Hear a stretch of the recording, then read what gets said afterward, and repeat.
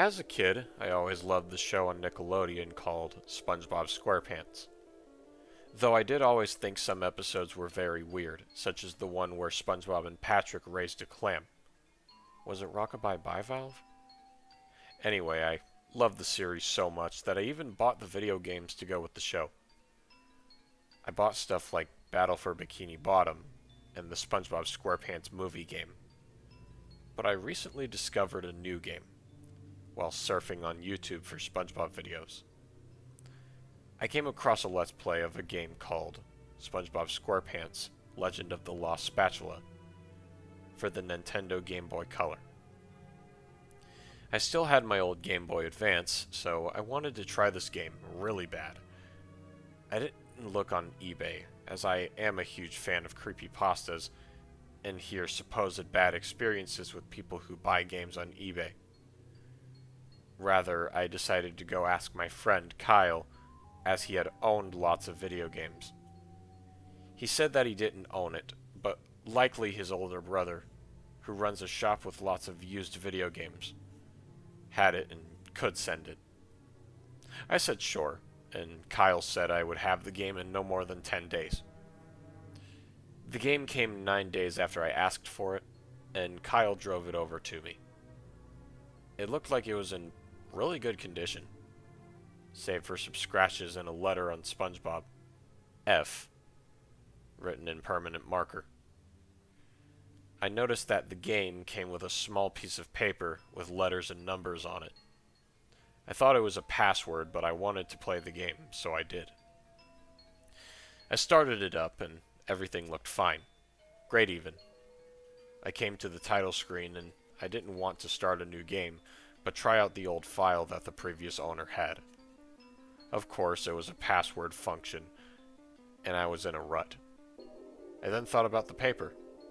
I was right. It was a password. I inserted them into the password screen. Boy, that was a huge mistake I would regret. The game booted up, and I was in some light blue area on top of a bubble cloud. I watched the Let's Play again to find that this was the Goo Lagoon level of the game. Everything looked perfectly normal, and I was ready to play this new game. I noticed that there were no other platforms or bubble clouds around, so I had no choice but to jump off the platform.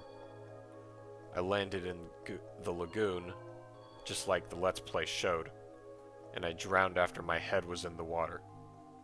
I heard a faint cry come from my Game Boy, and I could have sworn I heard laughter mixed with it. It was 8-bit, of course, but felt strangely realistic.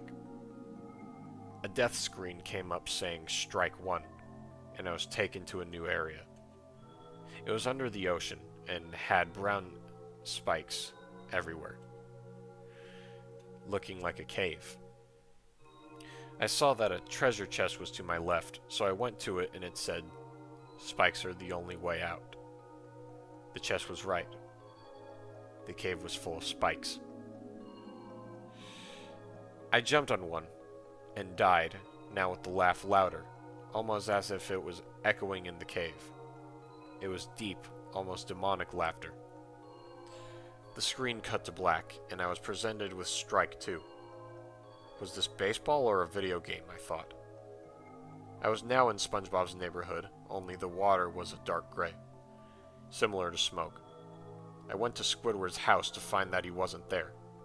But Patrick was at his house. He had on a barrel, just like the normal games showed.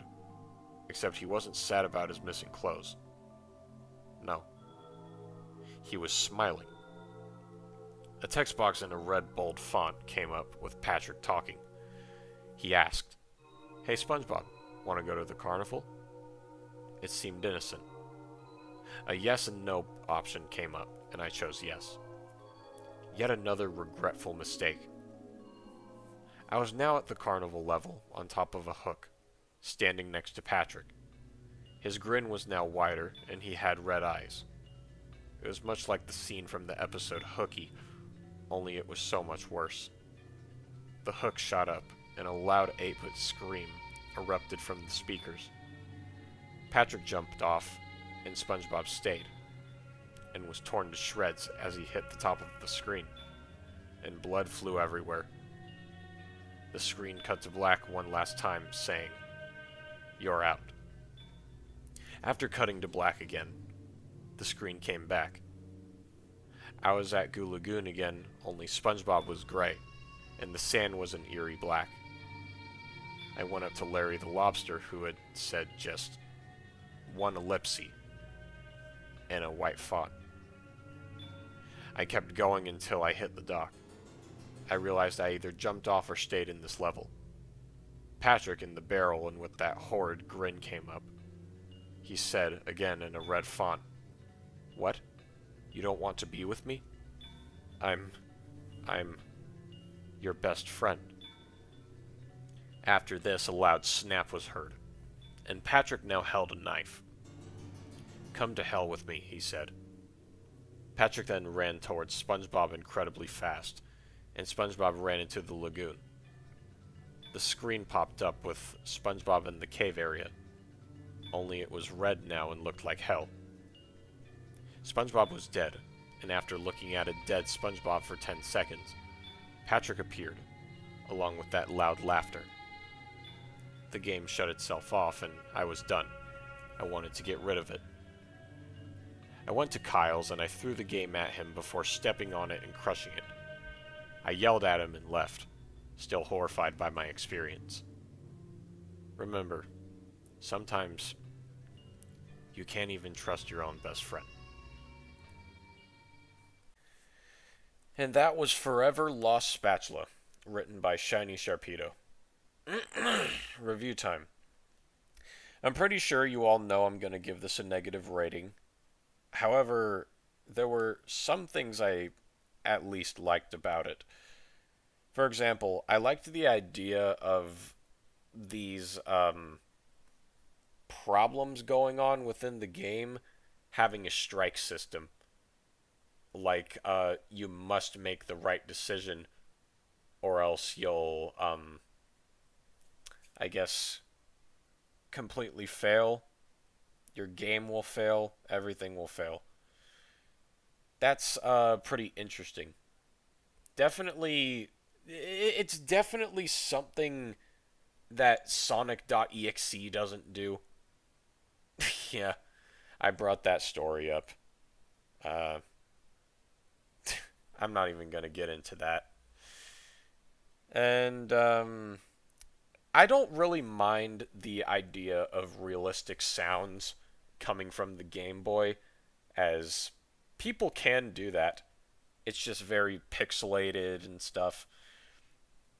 But, yeah, that's pretty much it for positive stuff.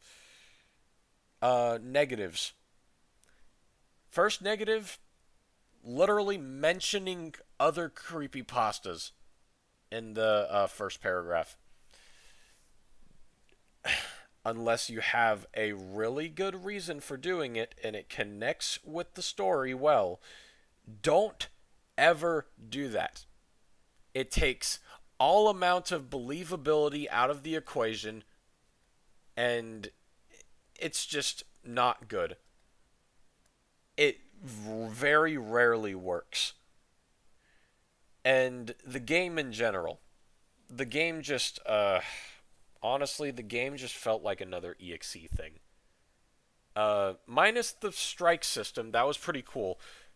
But it was just mediocre. I'm sorry. Especially with the whole ending with Patrick. Um,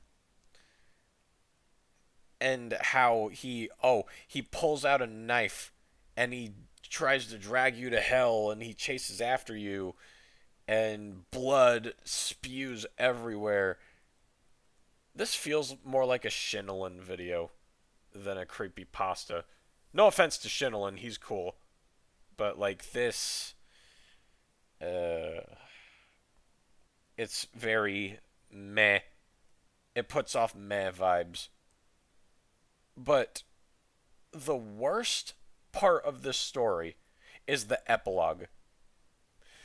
This dude went up to his best friend and threw the game at him and s- smashed it into pieces all because it was it bummed him out for a minute.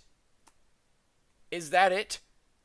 This is very obviously a homebrew game and i'm pretty sure no one would do this like even if their friend intended to put that in the game because, like, how do you know anyone died in the process of making this obvious homebrew?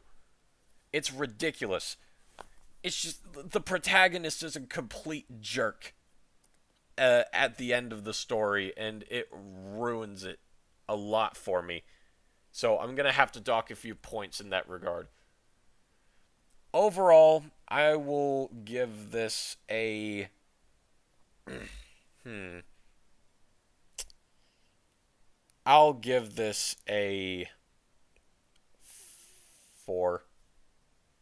It had some interesting ideas, but again, it was mostly overshadowed with cliches and uh, and the whole jerkish protagonist how he treats his best friend. I wouldn't want someone like that in my life. Uh, but as always, this is simply my personal opinion. We all have our opinions regarding these pastas. What did you think of the pasta? What would you have done to improve upon it? And as always, I will see you all in the next narration. I love you all. Bless.